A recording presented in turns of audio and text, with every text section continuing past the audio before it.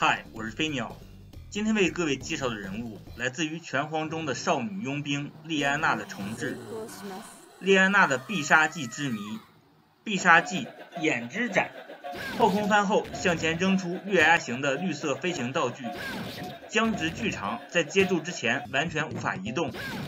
被誉为是与八九杯一样的废招。拳皇九八 UM 做出改变，抛出月牙镖一定时间后，僵直便会解除。具备一定的实战价值。原型来自赛文奥特曼三大招牌技的投镖必杀眼之重击者，由于时代原因，也有被误译成冰斧。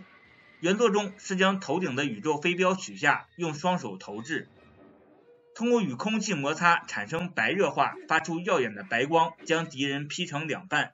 超必杀技 V 字金句，从空中俯冲地面，期间在空中留下 V 字轨迹后引爆。原型来自于超剑刺侠波鲁吉斯五中巨大机器人波鲁吉斯五的必杀天空剑 V 字斩。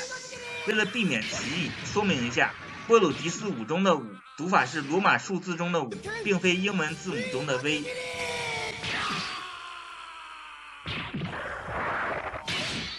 空中 CD 重击，双腿并在一起踢向敌人。足部有红色发光的特效，原型来自于雷欧奥特曼的招牌技雷欧飞机。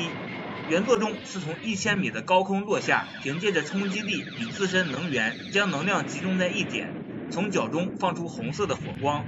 此招威力巨大，拥有一万吨 TNT 炸药的威力。假面骑士 Black 与假面骑士 Black RX 的骑士踢也有异曲同工之妙。原作中是在高空将能量集中在双脚踢向敌人，红色特效则是源自于空气摩擦。超必杀技旋转火花，先用手刀贯穿对方的腹部，将炸弹埋在对方的体内，然后抽出手刀，摆好姿势后华丽的引爆咋用啊。原型来自假面骑士 Black RX 的旋转激光剑的招牌技旋转切裂，也就是粉丝口中捅谁谁死的捅肾剑。原作中是操控激光剑向敌人发动突刺，将光能量灌注在对手体内，使其暴毙。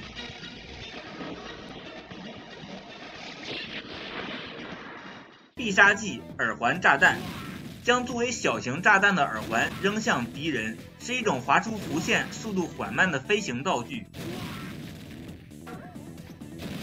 原型来自超级战队系列《秘密战队五连者》中桃连者的同名招式耳环炸弹，在剧中有时也被称为桃子炸弹或者粉红炸弹。拳皇九九开始增加衍生新招式耳环炸弹二号穿心攻击，动作是将定时的耳环炸弹装配在对手身上，命中后在一定时间内或者再次输入特定的指令时触发爆炸。原型来自于《周周的奇妙冒险》中吉良吉影的替身杀手皇后。首先，其安装炸弹再次引爆的机制模仿自杀手皇后第一炸弹的机制。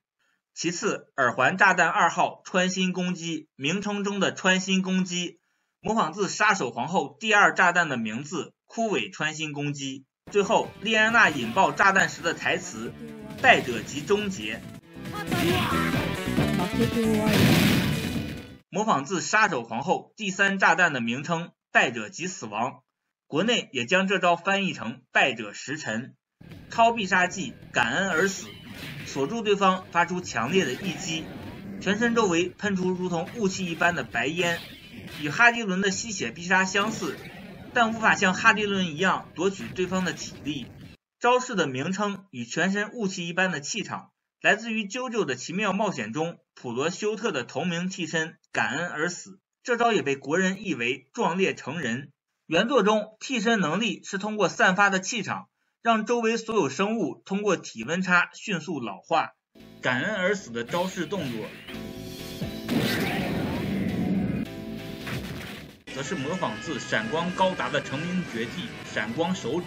原作中是通过手掌发出高热，摧毁握住的所有物体。其名台词为：“我这只手在闪耀和咆哮，他叫我打倒你，必杀，闪光手指。”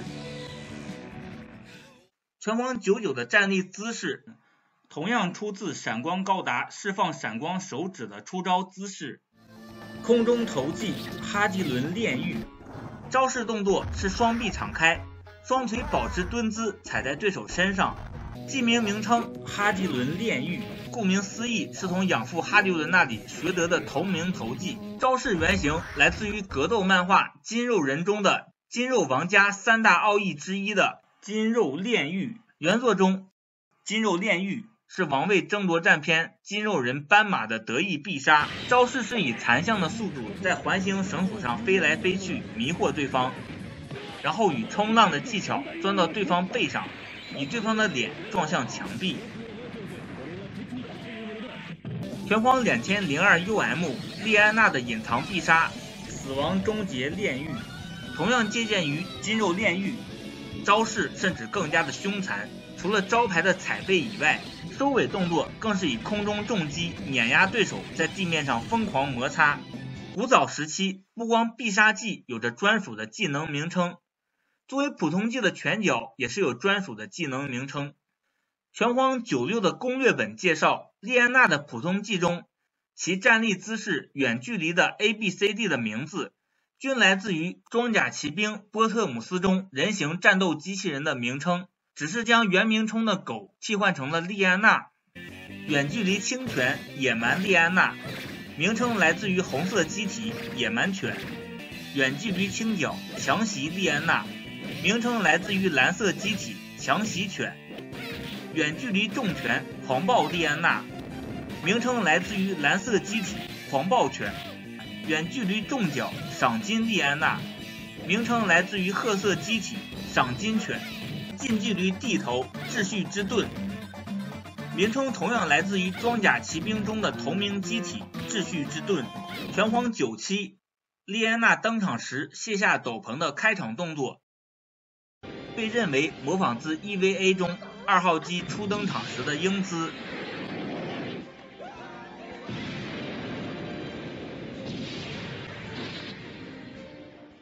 莉安娜的过去，莉安娜有着不为人知的悲伤过去。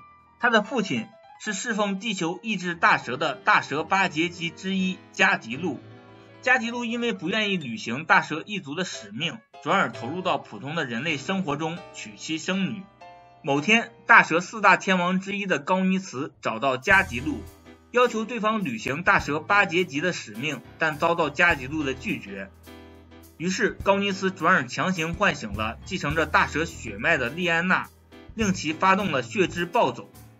在暴走的影响下，莉安娜在无意识的状态下亲手杀害了自己的双亲。因为巨大的精神冲击，莉安娜封闭了自己的内心，将当时的记忆与情感全部封印。当时事件的调查官独眼的佣兵长官哈迪伦。将现场无依无靠的莉安娜收为了养女，在他的悉心指导下，莉安娜逐渐成为了一名一流的职业佣兵。莉安娜的开发之谜，拳皇官网的开发秘闻记录：拳皇九六中很多队伍都更换了队员，莉安娜则是作为怒队的新接班人由此诞生，其设定为哈迪伦的养女。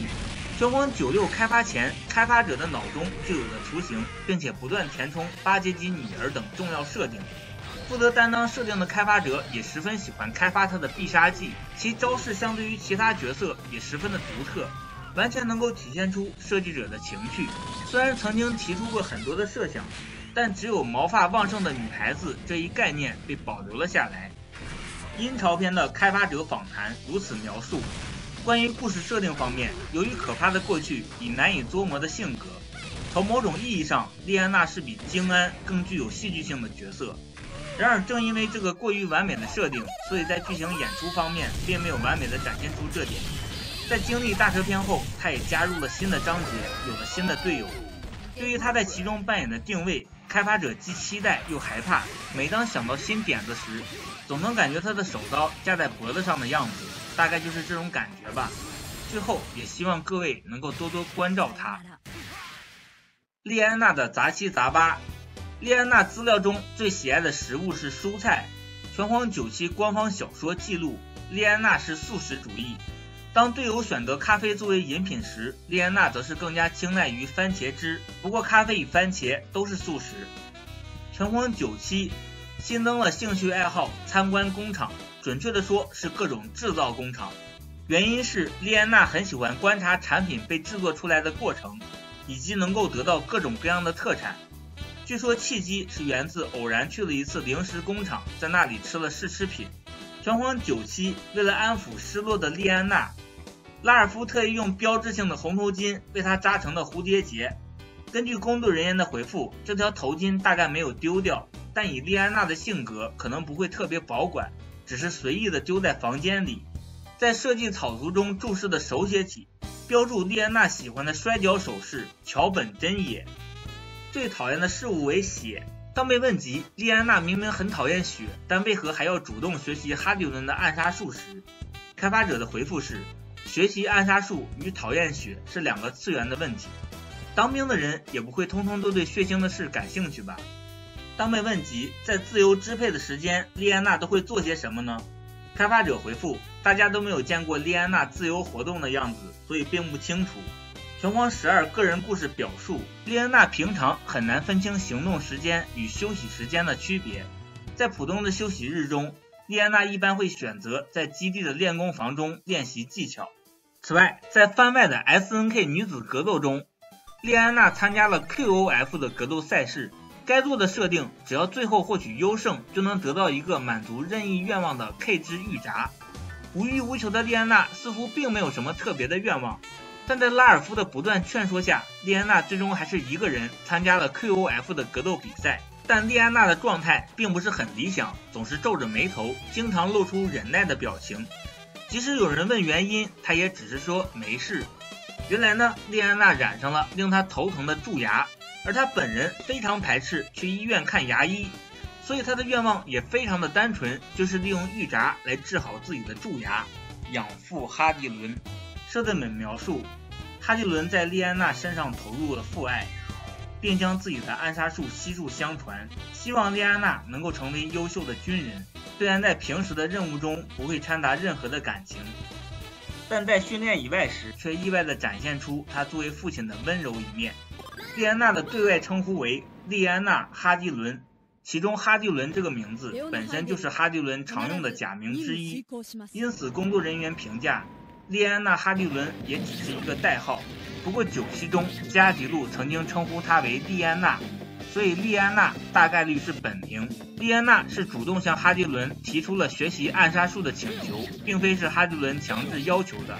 莉安娜的格斗流派为哈迪伦流暗杀术，所以她的招式中与哈迪伦有很多相似的地方。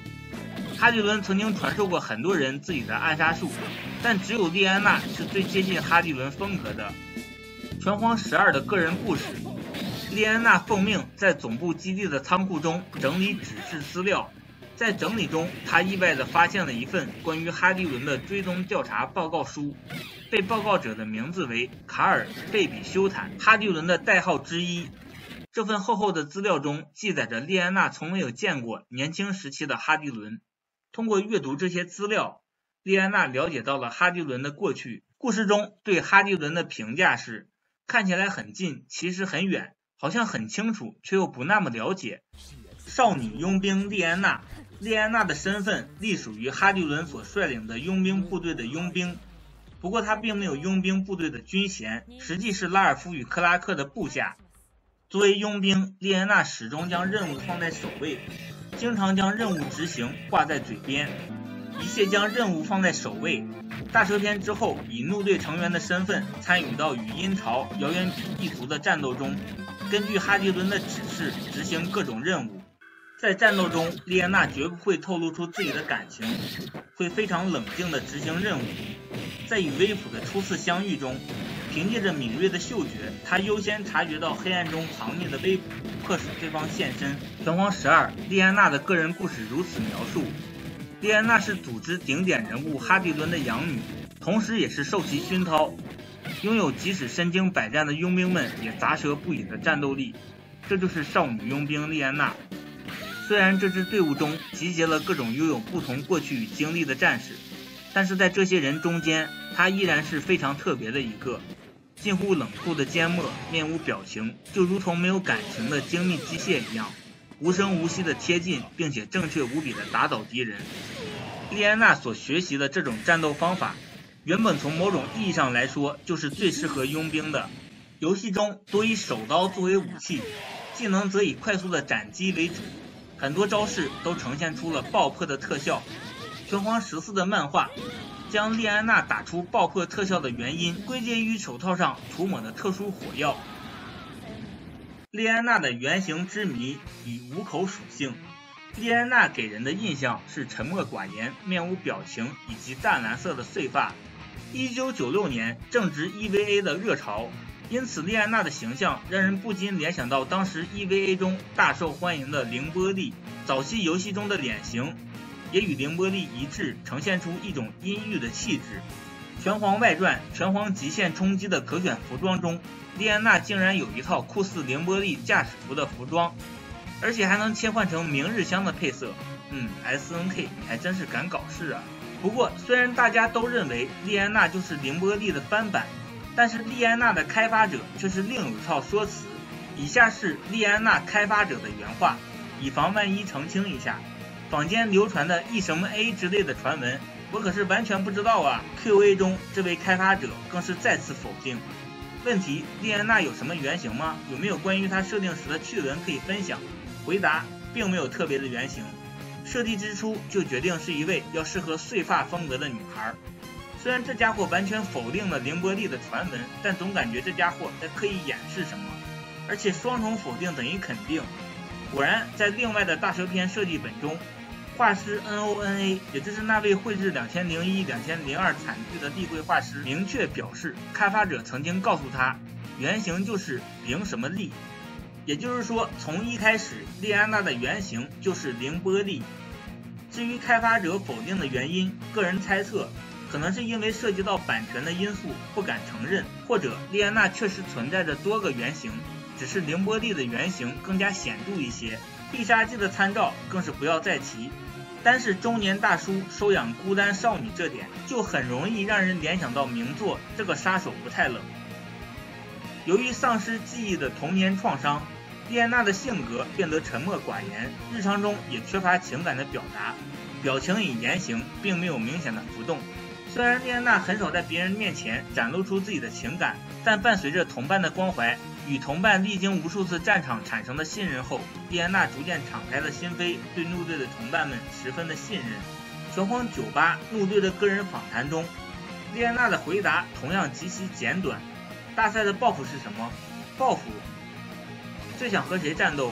教官。最想和谁组队？最不想和谁组队？无法选择。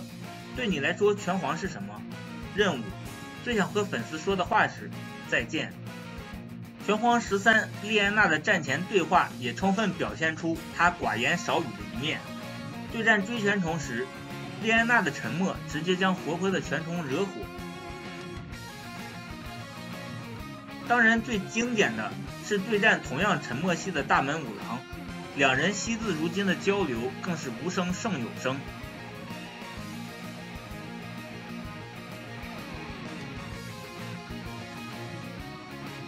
对战库拉时，莉安娜也有向库拉请教如何才能笑得开心，但原因竟然是笑一笑是拉尔夫的命令，简直是呆板。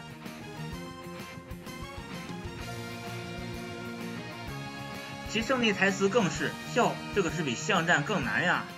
拉尔夫与克拉克，拳皇九六，哈迪伦退出了行动部队，在后方指挥全体作战。从此，莉安娜作为替补，与拉尔夫、克拉克组成了新怒队，参赛拳皇。初次见面，拉尔夫与克拉克都不看好莉安娜，拉尔夫认为莉安娜只是一个普通的少女而已。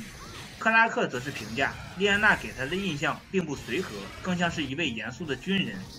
但在共事的过程中，两人逐渐认可了莉安娜的实力。在两人的关心下，莉安娜的冷漠也有所缓解，逐渐袒露心声，时而展露出笑容与泪水。拳皇九六中，当从高尼茨的口中得知双亲被害的真相后，莉安娜的身心受到了巨大的打击。陷入大蛇之血的宿命之轮。此时，拉尔夫与克拉克毅然地站了出来，破解了困境。在温暖的鼓励与哲学下，莉安娜从失落中走出，难得露出了一抹笑容。拳皇九七在大蛇的引导下，莉安娜再次被唤醒了那段不愿回忆的尘封记忆，终于完全回忆起杀害父母的真相。记忆中画面浮现出莉安娜沾满鲜血的双手。当得知自身血之宿命与过去的一切时，莉安娜想以自杀的方式做个了断。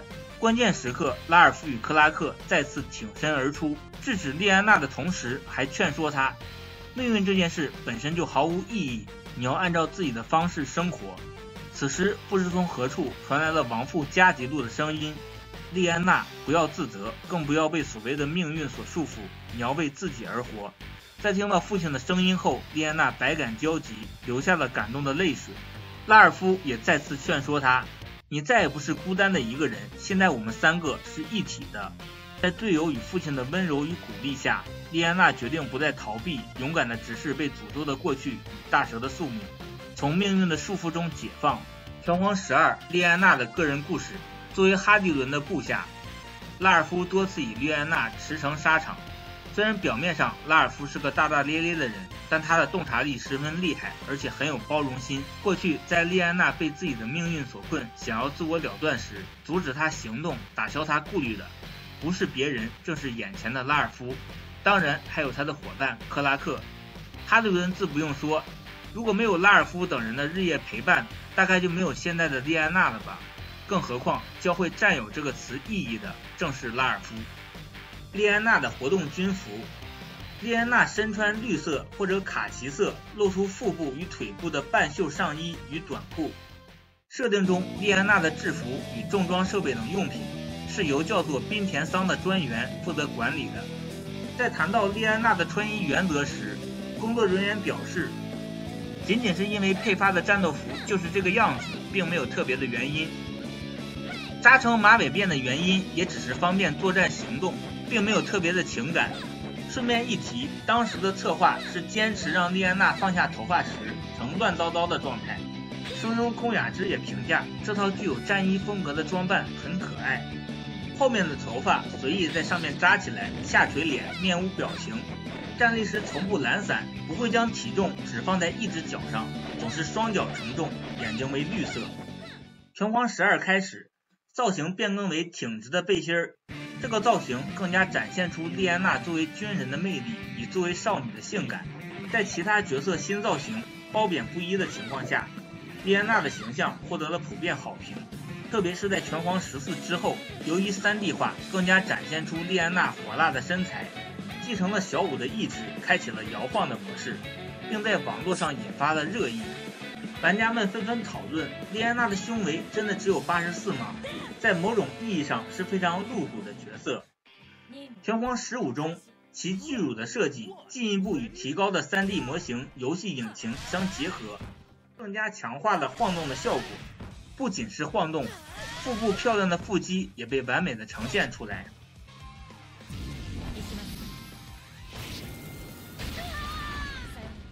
与陈国汉的敬礼之谜。拳皇九八与陆队成员战斗时，莉安娜则会触发特殊的敬礼开场。但是当莉安娜对战陈国汉时，同样会触发敬礼的特殊开场。原因是因为 S N K 将莉安娜与拉尔夫的敬礼开场错误移植到了陈国汉身上。虽然马上就在拳皇九九中得到了修正，但后期 S N K 将错就错。追加了莉安娜单方面的敬仰陈国汉的力量，敬礼的原因也错误的延伸为是向纯粹力量表达敬意。之后的系列中也再次采用了莉安娜向陈国汉敬礼的方式。终于拳皇十四中，陈国汉也开始向莉安娜反向敬礼了，属实是双向奔赴。由于拳皇十四中陈国汉是以恶人队的身份登场，因此莉安娜的台词中充满了惋惜。また悪に囚われているのね。打ち破れるだけの力を持っているのに。 你又步入黑道了呢？明明拥有打破这一切的力量。实际上，崇尚力量并非是一个离谱的借口，其实在设定中也是有据可依的。拳皇九六中，莉安娜的体重为五十六公斤，然而拳皇九七中则激增到六十五公斤，拳皇九八之后则固定为六十六公斤。增重十公斤的理由是因为莉安娜进行了肌肉锻炼，也就是增肌，成为了肌肉体质。拳皇十三在战胜巨型摔跤手雷电时，莉安娜也有赞赏对方纯粹的力量。从这个角度看，似乎敬礼的设定又变得合理了一些。毕竟军人是以战斗为生，力量即是正义。同时，游戏中陈国汉的高攻高防也具有强大的冲击力。作为少女佣兵，追求力量也是完全合理的。毕竟莉安娜是偏向灵活游走性的角色，所以才会从追求、羡慕的感情中萌生出对力量的尊重。在阴潮篇的开发者访谈时，当被问到莉安娜什么时候会笑或者放松时，开发者回复：她在队伍中从没有展示过，但据说当她茫然凝视陈国汉时。会自然而然地露出微笑。拳皇九八的画廊模式也增添了很多莉安娜与陈国汉的梗图，比如这两个家伙模仿小熊维尼与小猪皮杰的图，还有莉安娜躲在后面偷窥陈胖子，手中还捏着疑似情书之类的东东。然而画风一转，暴走莉安娜则丧心病狂地看着眼前的美食，手中还攥紧着刀叉。以及莉安娜遥控天空中飞行的陈国汉机甲之类的脑洞，巴拉巴拉。暴走莉安娜，由于体内大蛇之血的觉醒，莉安娜时常化身成为暴走莉安娜的姿态。拳皇九七，摁住开始键，输入上下上下 BD 即可解锁作为隐藏角色的暴走莉安娜。受到大蛇之血的影响，此状态下无法自控，游戏中的攻击力与速度都会大幅度的提升。由于强悍的性能影响到游戏平衡，被列为禁止选用的角色。游戏中暴走八神或者暴走莉安娜二选一，担任着游戏中的中 BOSS。当玩家队伍中选取八神安或者拉尔夫与克拉克，且同时没有莉安娜的情况下，游戏流程在第六队之后，暴走莉安娜便会以中 BOSS 的身份迎战玩家。暴走状态下，莉安娜丧失了人类的理性，呈现出粗暴的姿态，毫不留情地攻击目所能及的所有人。外貌上，莉安娜的头发转变为鲜红，发出如同野兽般的嚎叫与喘息，整个人蜷缩着头，不断的颤抖。场景范围内也一同染上了如同噩梦般鲜血的颜色。冲刺时也由疾走变更成为如同野兽一般的四爪奔跑，宛如猫科动物。所以小时候我们这边都是将它称呼为超猫。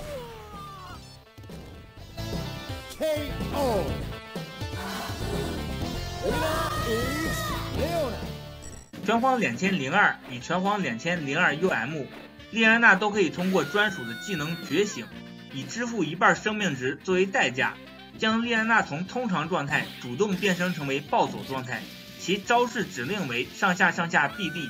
没错，这是九期的调人指令。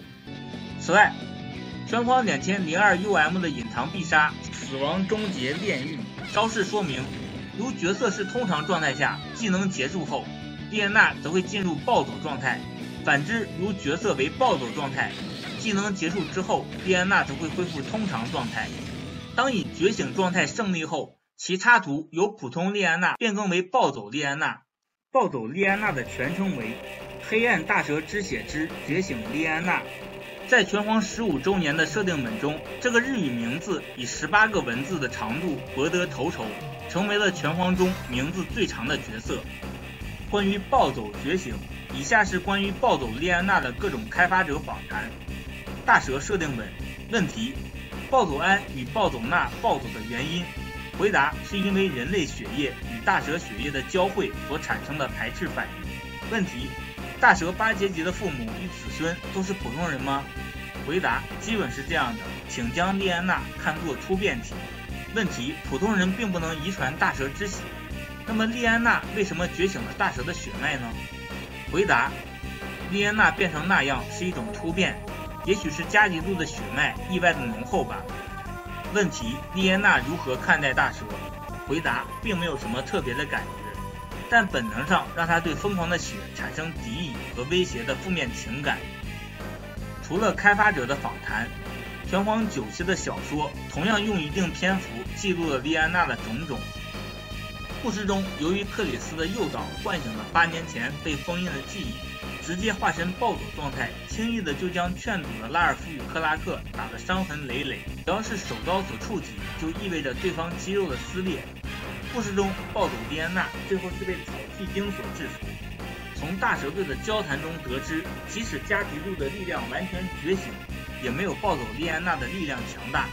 同时表示，从六百六十年前封印解除，八阶级的孩子比父母更强这件事还是头一遭。加迪路虽然拥有作为大蛇的记忆，但他没有大蛇的力量。反之，暴走莉安娜拥有大蛇之力，但不理解大蛇一族的使命。力量与意识只有双方面的觉醒，才算得上完全觉醒。虽然莉安娜的意志坚定，但是由于大蛇之血的躁动，使得莉安娜依然处于不安稳的状态。在她的胜利姿势中。莉安娜表示：“我可以控制力量，但并不打算依赖它。”不过话虽如此，在莉安娜的部分超必杀技的动画演出中，莉安娜的头发还是会从蓝色切换成觉醒时的红色，这也预示着莉安娜已经能够熟练地驾驭大蛇之力。声优与人气，莉安娜的声优是同时负责藤堂香成与威斯的宫雅芝。设定中，宫雅芝阐述了自己心目中的莉安娜。在我看来，作为女人，莉安娜酱是一位优秀的女性，因为她实在太帅气了，在自己身上完全找不到与莉安娜的相似点。看来自己得冷静一下。在为莉安娜配音时，从平静的话语中抒发出莉安娜的情感是一件很难的事。当被问到最希望看到怎样的莉安娜时，公回答是莉安娜穿着长裙，一边遛狗，一边微笑地看着自己的孩子玩耍。嗯，真的是一位非常温柔的小姐姐。在 N.F 杂志举办的 S.N.K 角色人气投票中，莉安娜一直名列前茅。在第四回投票中名列第十名，第五回第四名，第六回第七回第二名，第八回第五名，第九回第四名。无论是男性和女性，莉安娜的票数都是名列前茅。不过相对来说，还是女性的票数要更高一些。其中在第七回的投票中。莉安娜以两千九百的总票斩获第二名，仅次于八神。编辑部赏析：强度 B，融资 B，知性 C，人格 C，H 度 C。虽然各方面都是 B 级 B 以下，但综合的评分却是恐怖的 A。评语：一旦分析起来，就会发现莉安娜是个很难捉摸的角色。拜托，再多说几句话吧。莉安娜那神秘的一面，反而让这个角色更具魅力，真是不可思议。生父加迪路，设定中加迪路作为大蛇八阶级，并没有觉醒，只是以普通人的身份生活。作为丈夫与父亲，加迪路十分珍重自己的妻女。拳王十四 BOSS 威尔斯是一个怨念集合体，相当于复活大礼包。当威尔斯被击败后，他身体内的碎片会四散到世界各处，而这些碎片的灵魂都会得到复活。拳皇十五大蛇四大天王的全员复活，正是源自于威尔斯的自爆。当威尔斯限定战胜莉安娜时，其限定的胜利台词为“我会一直保护你”。很多人解读为这是以加迪路的口吻对莉安娜说出的台词。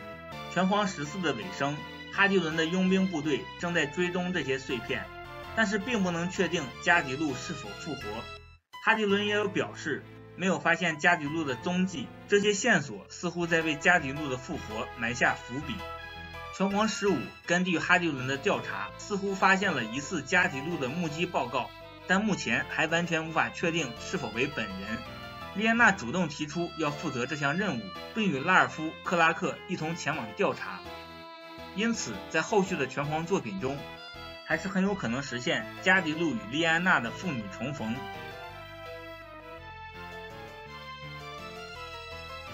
合金弹头的客串，在合金弹头 XX 中，莉安娜是作为 DLC 追加人物登场。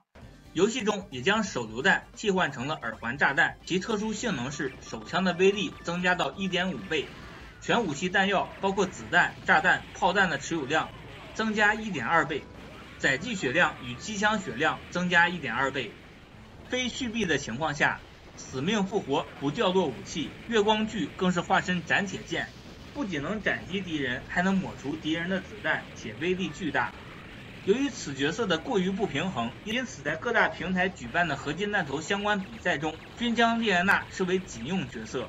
以上就是关于莉安娜的介绍视频。我有一位帮助过我很多次的网友，叫做七猫，他就很喜欢莉安娜，希望他能喜欢这部视频。